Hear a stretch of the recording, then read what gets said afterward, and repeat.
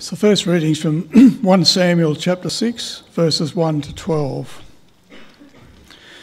When the ark of the Lord had been in Philistine territory seven months, the Philistines called for the priests and the diviners and said, What shall we do with the ark of the Lord? Tell us how we should send it back to its place.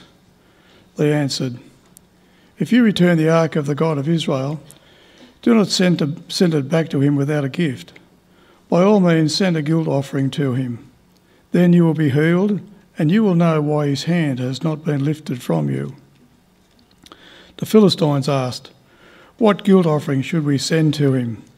They replied, Five gold tumors and five gold rats, according to the number of the Philistine rulers, because the same plague has struck both you and your rulers. Make models of the tumours and of the rats that are destroying the country, and give glory to Israel's God. Perhaps he will lift his hand from you and your gods and your land. Why do you harden your hearts as the Egyptians and Pharaoh did when Israel's God dealt harshly with them? Did they not send the Israelites out so they could go on their way? Now then, get a new cart ready with two cows that have calved and have never been yoked. Hitch the cows to the cart and take their calves away and pen them. Take the ark of the Lord and put it on the cart, and in the chest beside it put the gold objects you are sending back to him as a guilt offering. Send it on its way, but keep watching it. If it goes up to its own territory, towards Beth Shemesh, then the Lord has brought this great disaster on us. But if it does not, then we will know that it has not that it was not his hand that struck us, but that it happened by, to us by chance. So they did this. They took two cows and hitched them to the cart and penned up their calves. They placed the ark of the Lord on the cart, and along with it the chest containing the gold rats and the models of the tumours. Then the cows went straight up towards Beth Shemesh keeping on the road and lowing all the way. They did not turn to the right or to the left. The rulers of the Philistines followed them as far as the border of Beth Shemesh. This is the word of the Lord. Thanks be to God.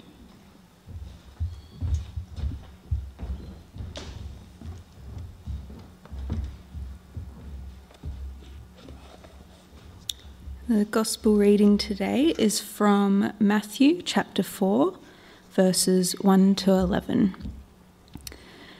Then Jesus was led by the Spirit into the wilderness to be tempted by the devil. After fasting 40 days and 40 nights, he was hungry. The tempter came to him and said, If you are the Son of God, tell these stones to become bread. Jesus answered, It is written, Man shall not live on bread alone, but on every word that comes from the mouth of God. Then the devil took him up to the holy city and had him stand on the highest point of the temple.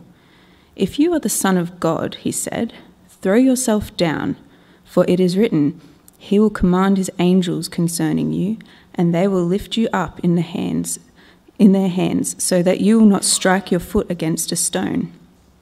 Jesus answered him, It is also written, Do not put the Lord your God to the test. Again, the devil took him to a very high mountain and showed him all the kingdoms of the world and their splendor. All this I will give you, he said, if you bow down and worship me. Jesus said to him, Away from me, Satan, for it is written, Worship the Lord your God and serve him only. Then the devil left him, and angels came and attended him. This is the word of the Lord.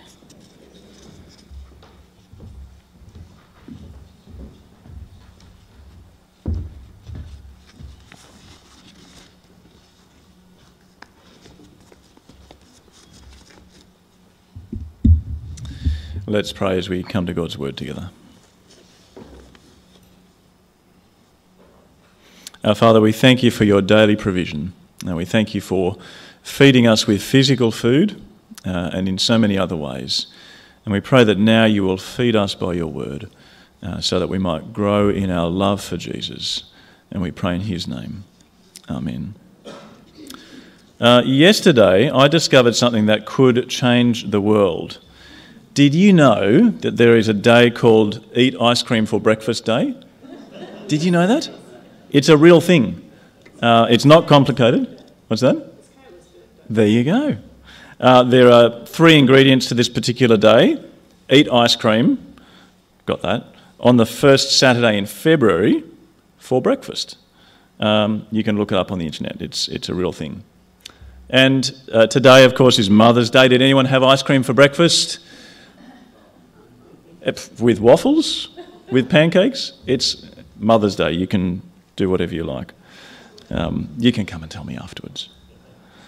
Uh, ice cream is usually too good to resist. And advertisers know that we're not very good at resisting the temptation of a sweet treat. Do you remember a few years ago there was a Magnum ice cream called the Magnum Temptation? Hmm. Well, we continue our series this morning from Matthew's Gospel. It's called Kingdom Come. And today we come to Jesus in the wilderness being tempted by Satan, which raises all kinds of questions for us. How could Jesus be tempted? If he's the Son of God, was this temptation real? Does he understand what temptation is like for us? What purpose does all this serve? How was he able to resist the devil's temptation? Now, we might have a bit of a laugh at Magnum Temptation ice cream. When it comes to ice cream or donuts or whatever, giving in to temptation is probably, in the scheme of things, insignificant unless you've got some major health issues. But there are times when temptation, desires, resisting really does matter when it's a much bigger deal than an ice cream. Can we resist temptation? And knowing that Jesus resisted temptation, what difference does that make? Last week we saw the beginning of Jesus' ministry as John the Baptist called Israel back to repentance, calling the Jewish people to turn back to God and baptism was a sign of that repentance. And then Jesus was baptized by John, not because he needed to repent of sin, but to show that he identified with his people Israel. He came in their place. He came for them in order to take their place and die in their place. And so we see Jesus baptized, and we're so thankful because it shows that he is for us.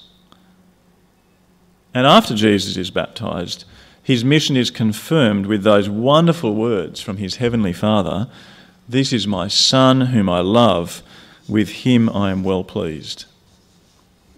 And then from that high point, the next words in Matthew's Gospel deliver a hammer blow.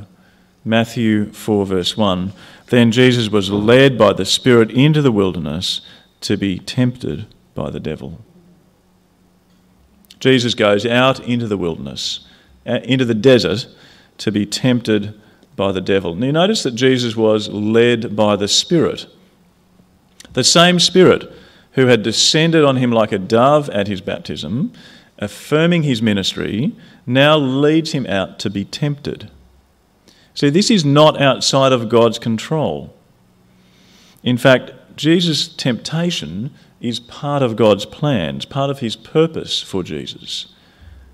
And if we can come to grips with why this was part of God's plan, then we'll begin to understand that his temptation was actually central to his mission. The second thing to notice is that Jesus uh, would be tempted by the devil. The devil is real. We ignore him at our peril, but it's also possible to be needlessly scared of him and give him more power than he deserves. Finally, Jesus was led out to be tempted. Now, that might raise a question or two. You might remember in James chapter 1, it says that God doesn't tempt anyone.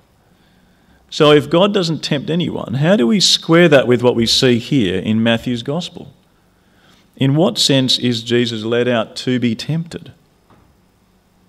Well, a couple of things to say. First, the word that we translate tempted can mean tested. The Bible's very clear that God tests us. In the Old Testament book of Job, God allows Satan to test Job. In the New Testament, even uh, here in the letter of James, it's very clear that trials or tests, it's the same word as here in Matthew 4, it's clear that trials will come, that our faith will be tested. Jesus' temptation or testing in the wilderness is real and it's not at odds with Scripture elsewhere because God does sometimes allow his people and even his own beloved Son to be tested, tempted. Yeah, have you ever skipped a meal or two? Maybe before surgery or something like that? Matthew tells us that Jesus fasted 40 days and 40 nights. Now, you might be thinking that a day or two is plenty. 40 sounds impossible. Uh, experts tell us that it is possible, that there was a kind of fast that allowed water only. It's quite possible to survive 40 days. If you get far beyond that, you might run into some problems. But Matthew tells us that at the end of 40 days and 40 nights, Jesus was hungry. I'm not surprised. And it's when Jesus is hungry, after 40 days and 40 nights of fasting, it's when he's at his weakest that the devil attacks him. Jesus' first temptation is to doubt God's goodness. Look with me at chapter 4 of Matthew's Gospel, chapter 4, verse 3. The tempter came to him and said, If you are the Son of God, tell these stones to become bread. You see, the devil, the tempter, doesn't question Jesus' status as the Son of, as the Son of God. That's already been confirmed back at Jesus' baptism. But what the devil does is cast doubt on God's goodness. Tell these stones to become bread. In other words, you're hungry. Do you really trust God to provide for you? Can't you provide for yourself? See, Satan takes that legitimate need, the very human need for food, and he uses it to tempt Jesus to take matters into his own hands. And Jesus could have done it. Jesus could have told stones to become bread. Just a few chapters later in Matthew's Gospel, the disciples bring to Jesus, remember, five loaves of bread and two fish, and Jesus feeds an entire crowd, more than 5,000 people. Jesus is able to make bread from stones, even. And so, after 40 days and 40 nights without food, he must have been hungry. He must have been weak. And you can imagine it must have been tempting to just feed himself. But that's not why Jesus came. He came not for himself, not to fulfill his own needs, but for us. He came not to serve his own purposes, but to serve you and me. And his mission meant taking our place, dying in our place for our sins. The temptation was to use his sonship in a way that was inconsistent with his mission. And Jesus resisted that temptation. Listen to his answer to the devil. Uh, it's there in verse 4. Jesus answered, It is written, Man shall not live on bread alone, but on every word that comes from the mouth of God. See, Jesus resists temptation. He answers the devil by quoting Scripture. He quotes from the Old Testament, from the book of Deuteronomy Man shall not live on bread alone, but on every word that comes from the mouth of God. In other words, there are more important things than bread. There are things that are more important to Jesus than feeding himself. What's more important, in fact, Jesus says it's a matter of life and death, is hearing and being sustained by God's word. And it's worth noticing that with each of these three temptations, Jesus answers the devil each time from Scripture, and actually from a particular part of Scripture. Uh, every time he answers the devil, Jesus answers from Deuteronomy, Deuteronomy chapter 6 through to chapter 8. And uh, in Deuteronomy, what's happening is that Israel is poised, ready to enter the promised land. They've gone through 40 years in the wilderness. Notice the parallel there with Jesus' 40 days in the wilderness. And then after the wilderness years, God has made Israel into his people.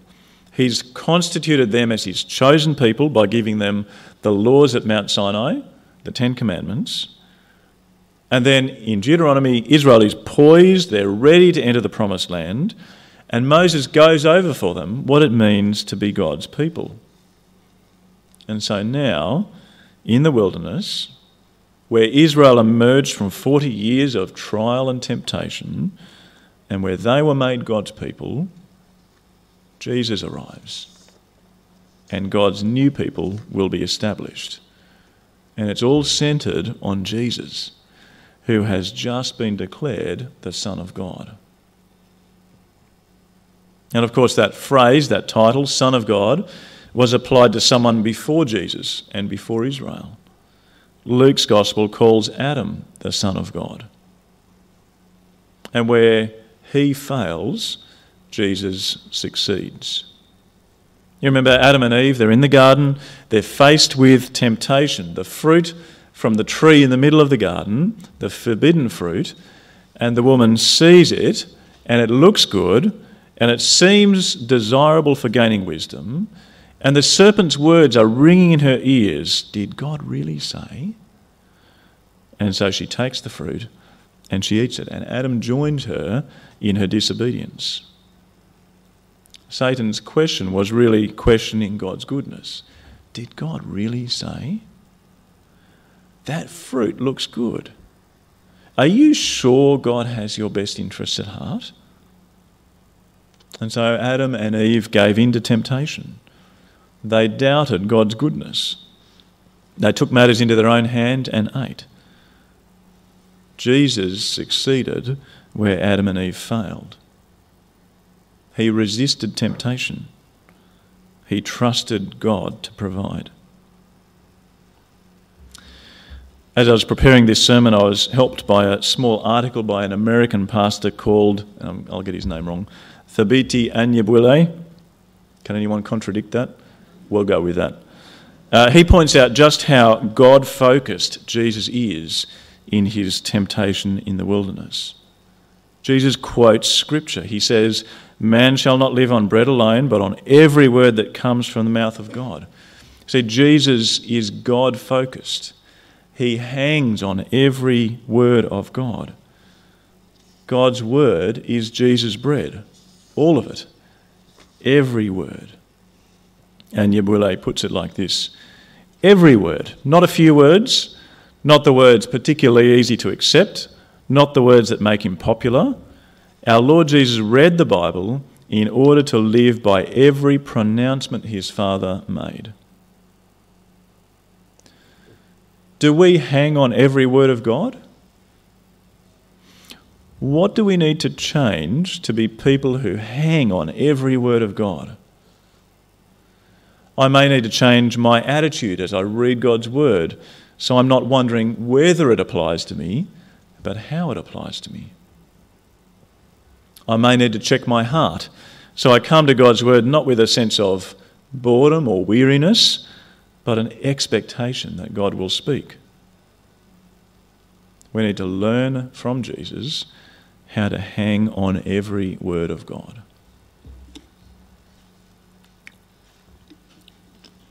Well, the first temptation was doubting God's goodness. The second is testing God's faithfulness. This time, the devil uses scripture against Jesus. We'll read from verse 5.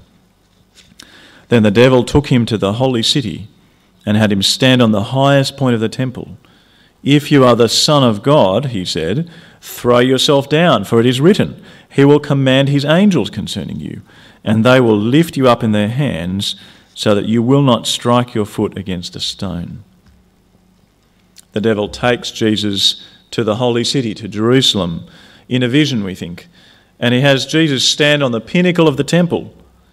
If you're really the Son of God, I'm, I'm paraphrasing, If you're really the Son of God, throw yourself down. God will protect you.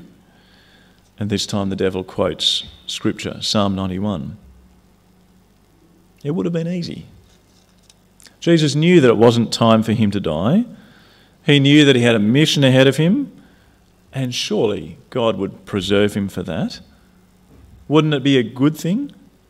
Wouldn't it show the devil once and for all that Jesus really is the Son of God? Maybe others would see and they would believe. But Jesus sees it differently. He answers again with Scripture. And again from Deuteronomy, this time from chapter 6. We'll read it in Matthew 4, verse 7.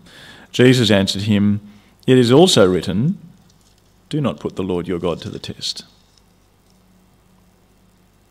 Don't put God to the test. Satan's use of Scripture is wrong because it, it takes a little bit in isolation. Yes, God will care for his son, but there's more going on. There's a bigger picture. And Jesus knows that his mission means obedience.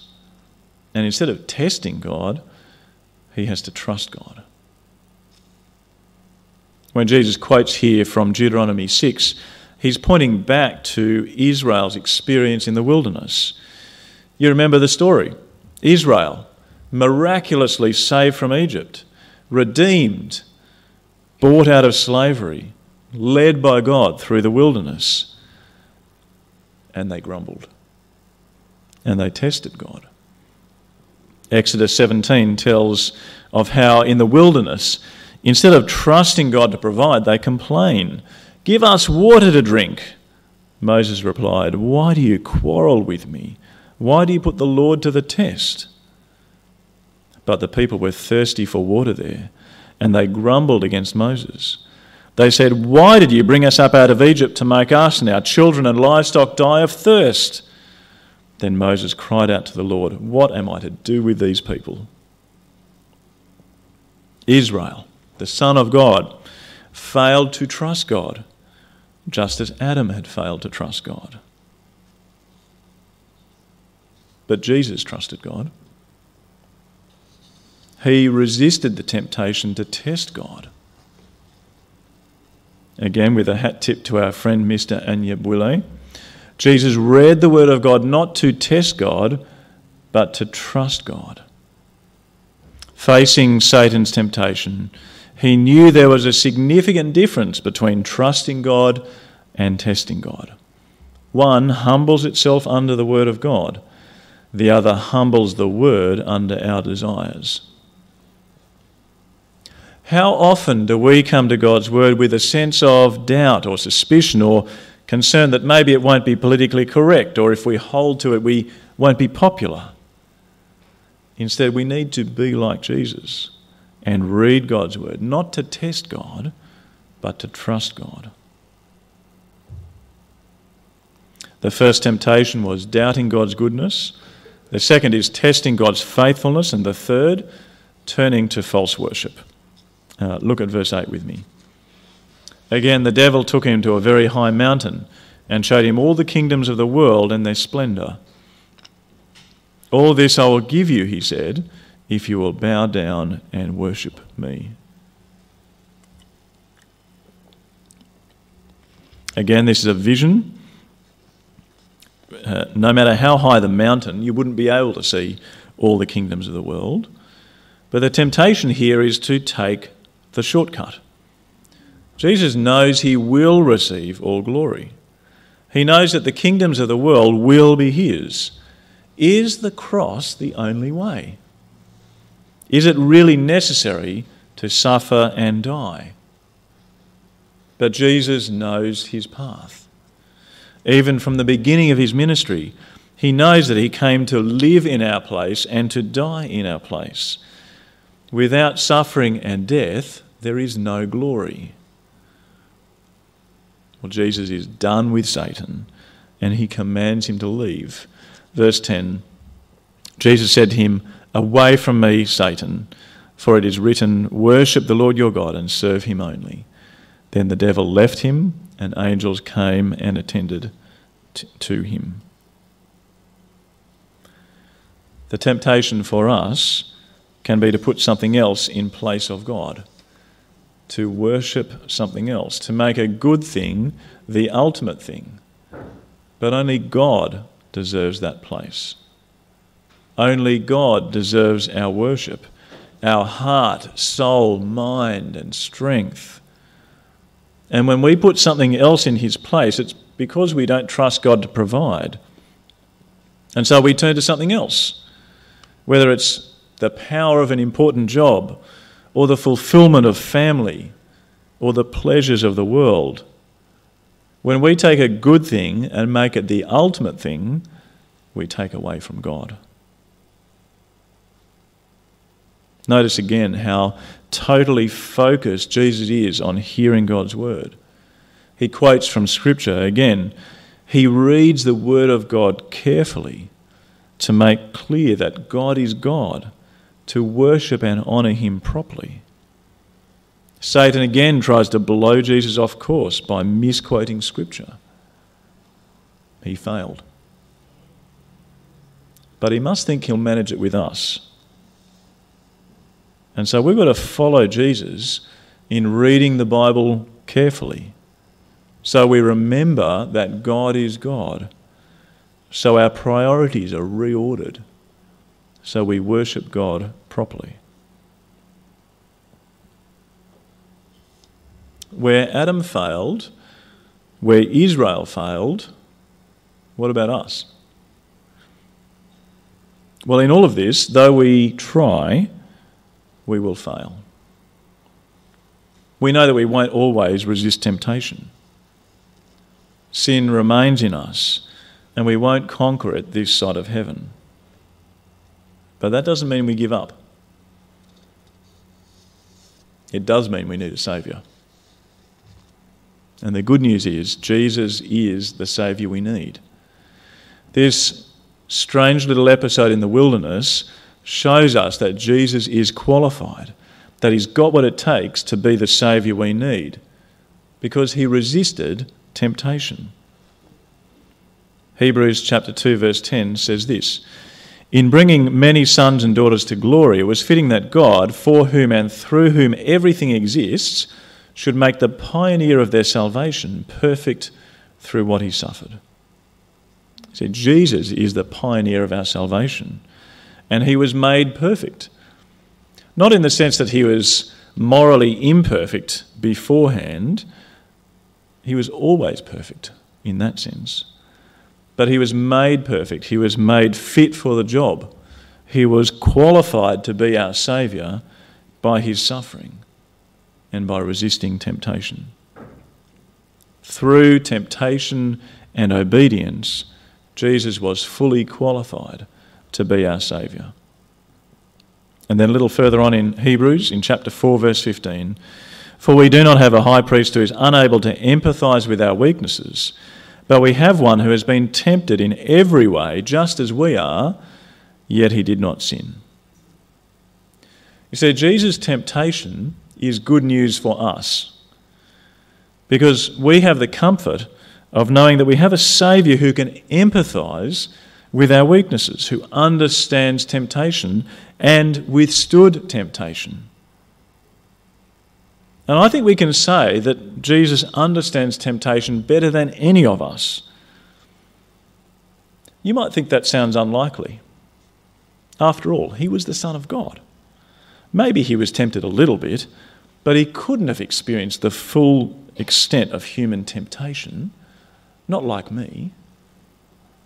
But I think actually he's experienced it even more than you and I because we often give in to temptation. He didn't. He saw it through. And so he's experienced temptation to an extent that we never will. The author Leon Morris puts it like this The person who yields to a particular temptation has not felt its full power. He has given in while the temptation has yet something in reserve. Only the one who does not yield to temptation, who as regards that particular temptation is sinless, knows the full extent of that temptation. Jesus understands our temptation. he helps us in our weakness. And the conclusion that the writer of the Hebrews draws is this Jesus was tempted but did not sin. Let us then approach God's throne of grace with confidence so that we may receive mercy and find grace to help us in our time of need. Jesus helps us in our weakness. Jesus did what Adam couldn't do. Jesus did what Israel couldn't do. And because he withstood temptation, Jesus alone is perfectly qualified to be our Saviour. And Jesus calls us to obey him and trust him. He calls us to obey him, to resist temptation. We have the resources to obey. We can come to him for mercy and grace in our time of need. We have the resources of his Spirit, his word, prayer, all at our disposal. And so Jesus calls us to obey him. And he calls us to trust him for forgiveness when we fail. You see, despite our imperfect obedience, we are right with God because of Jesus' perfect obedience. Let me say that again. Despite our imperfect obedience, we are right with God because of Jesus' perfect obedience. And that's the heart of the gospel. The good news of Jesus, the one who came to live in our place and die in our place. Let me pray. Father, thank you for Jesus who came for us. Please help us to obey. Help us to arm ourselves with your word so that when temptation comes, we're ready. And help us to trust Jesus so that when we fail, we know the forgiveness that comes from Jesus' perfect obedience. We pray in his name. Amen.